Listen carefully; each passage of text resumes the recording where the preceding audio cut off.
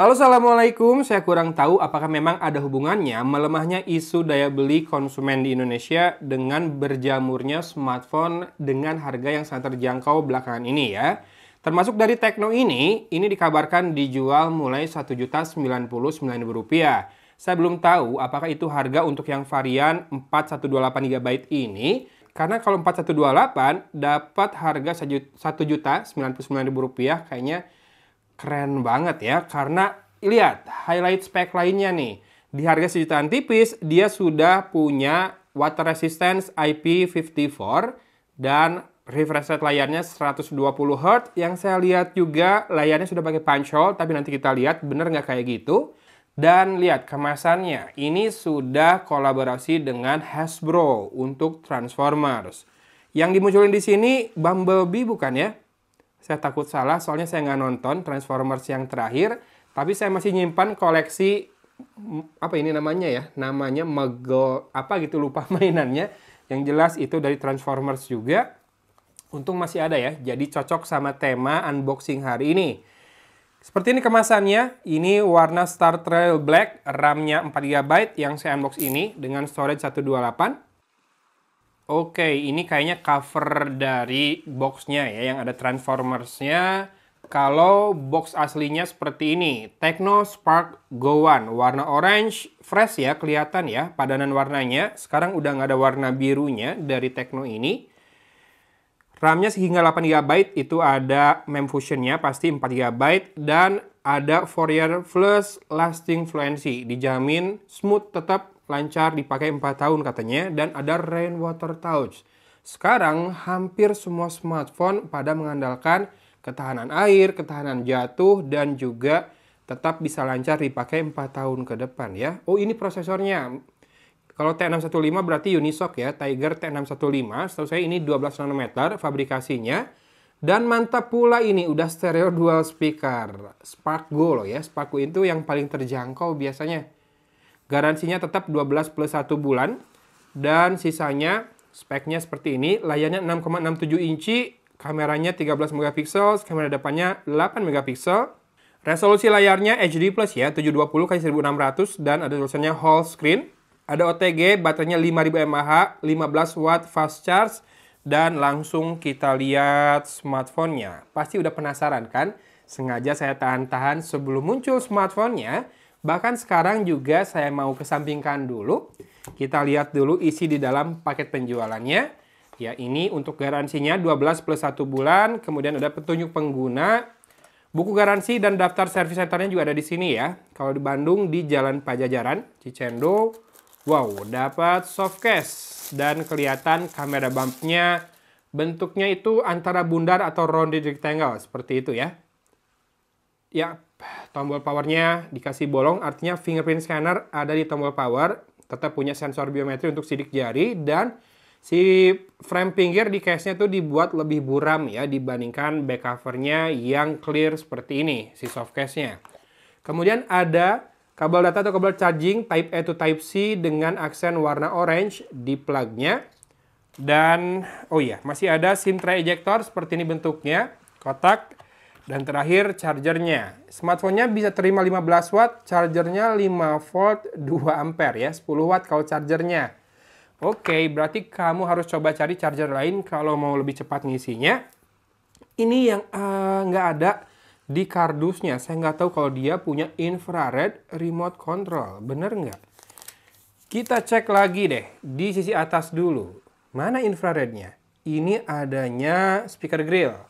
Di sisi kanan adanya tombol volume up, volume down, dan tombol power yang berfungsi sebagai fingerprint scanner juga. Di sisi bawah ada jack audio 3,5 mm, mikrofon, port Type-C, dan speaker grill berupa 6 buah lubang. Sisi kiri ada SIM tray-nya, kita akan cek. Ya, SIM tray-nya ini apakah hybrid ataukah triple slot?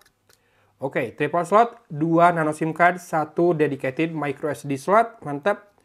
Cuma saya belum nemu infrarednya di mana. Kok di sini disebutin ada infrared remote control Spark Go One ini. Padahal di kardusnya nggak ada ya.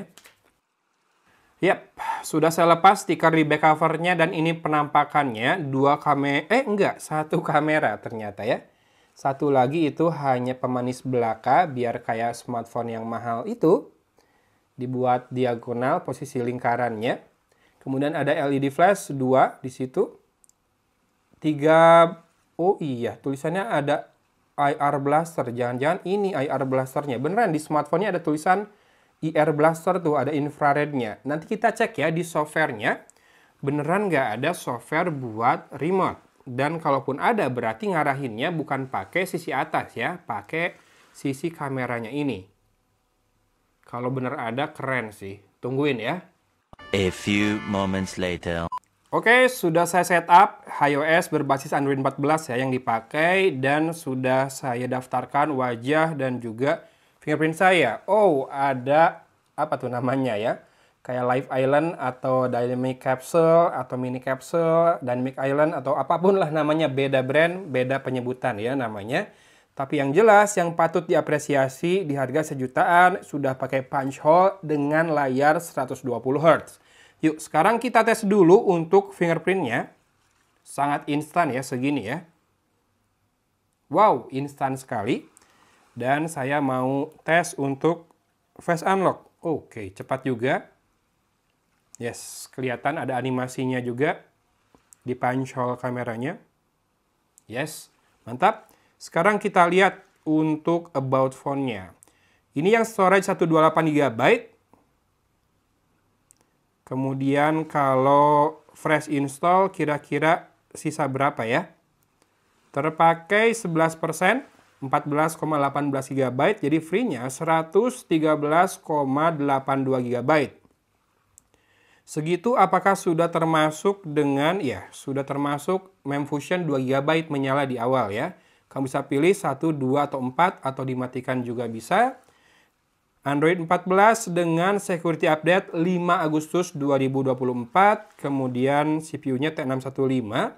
Tecno KL4 modelnya. Kamera belakang 13 MP, depan 8 MP, screen-nya HD+, betul, baterai 5000 mAh dan apakah dia punya banyak bloatware? Saya akan cari dari AHA Games, kemudian etalase apps. Uh, Hola Browser ini punyanya iOS ya. Facebook Lite, Palm Store punyanya dia juga. TikTok Lite, dikit ya. We Live 5 kali. Sama T-Spot ini apa? Bisa di install? Bisa. 6 berarti. Segini tergolong dikit ya untuk smartphone yang seterjangkau ini kan biasanya dia disubsidi silang dengan pengadaan bloatware kerjasama dengan penyedia aplikasi tapi ini sedikit banget. Sama saya mau lihat bener nggak? 120 Hz di layarnya ini. Yes standar bisa 60 Hz tapi kalau 120 Hz itu nggak bisa dimentokin terus ya. Jadi auto switch. Pas lagi butuh 120 Hz kayak misalkan lagi scrolling di Twitter atau ya halaman-halaman yang banyak scrollnya biar kelihatan smooth, dia akan otomatis pindah ke 120 Hz, otherwise dia tetap di 60 Hz ya, biar lebih hemat baterai. Adaptive brightness sudah ada, ini sedikit saya khawatirkan tadinya takutnya nggak ada adaptive brightness ya di smartphone terjangkau, tapi ini ada. Kemudian kita cek apakah ada NFC atau tidak. OTG printing case sepertinya tidak ada ya. Coba kita lihat di togglesnya ini. Ya, togglesnya juga nggak ada NFC, kemungkinan memang tidak ada. Yang mana sangat masuk akal ya buat level harga segini belum ada NFC. Dan saya mau cek untuk menu di kameranya. Ada AI cam, ada zoom digital dua kali, tapi karena sensornya 13 megapiksel, harusnya sih zoom digitalnya nggak akan sebagus yang 50 megapiksel ya. Sekali lagi, wajar buat level harganya. Dan menu short video, dan untuk video dia bisa rekam Full HD 30 fps di belakang maksimal. Oh, depan juga sama, bisa Full HD 30 fps. Yang mana bagus karena di level harga segini banyak yang kamera depannya hanya 720p ya. HD, bukan Full HD. Kemudian ada Beauty, Portrait, dan More. More ini time-lapse dual video Super Night Pro Airshot dan Panorama. Yang Pro bisa atur exposure bukan exposure metering, mau center, mau area. Fokus juga bisa dibikin autonya single atau continuous ataupun manual bisa. White balance, ISO dari 100 sampai dengan 3200, Dan shutter speed dari 1 per 1500 sampai dengan 6 detik. Memang belum sampai 30 detik, tapi paling nggak udah bisa lebih dari satu detik ya, yang mana cukup panjang. Oh iya, saya belum cek ini infrared remote-nya mana ya? Ini agak membingungkan karena di aplikasinya tidak ada, bisa kan ada in, uh, aplikasi IR remote atau apa pun namanya remote-remote gitu. Kalau enggak di notification togglesnya ini ya, di control centernya. Tapi ini tidak ada. Yang mana saya juga dari tadi nggak nemu infrared blasternya. Dia bilang ada PDEF, f18, f1.8 untuk bukaan lensanya. Focal lengthnya 26,8 mm plus infrared blaster. Mana infrared blasternya? Saya tidak menemukan. Yang saya temukan di atas hanya ada loudspeaker grill buat stereo loudspeakernya yang mana buat level harganya bagus sebetulnya. Silahkan disimak juga bezel layarnya yang segini tergolong tipis buat level harga sejutaan tipis. Cuma tanda tanya buat saya karena disebutkan ada infrared blaster. Pertama di plastik pembungkusnya, kedua di kamera bumpnya, kamera framenya. Kita coba edit shortcut switch sekali lagi dan tidak ada ya. Oke, ini dia Technospark Go One. Saya perlu cek lagi yang harga 1.099.000 apakah yang 4128 ini atau ada varian yang lebih rendah memorinya. Kalau teman-teman mau bantu cek juga silakan klik link di deskripsi atau tab produk yang muncul di layar. Di situ kamu bisa cek harga yang sesungguhnya ya. Karena pas saya unbox ini, launchingnya masih nanti siang sih dan mungkin ini tayangnya beberapa hari setelahnya ya. Tapi keren sih Tekno dengan apa yang ditawarkan mudah-mudahan jadi solusi buat mereka yang budgetnya lagi tipis, butuh smartphone baru atau butuh nambah smartphone buat anak, buat senior atau orang tua di rumah atau simply buat HP kedua atau misalkan butuh HP hiburan doang. Jadi infrared blasternya gimana? Ada yang bisa bantu jawab? Sementara nunggu jawaban, kita cek di komen juga. Saya tutup dulu videonya ya. Dari Kota Cimahi, Agon Mewit undur diri. Wassalamualaikum warahmatullahi wabarakatuh.